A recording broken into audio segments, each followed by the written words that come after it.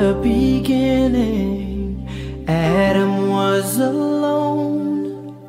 He needed fellowship that he could get from his bones. So God laid him to sleep, took a rib from his side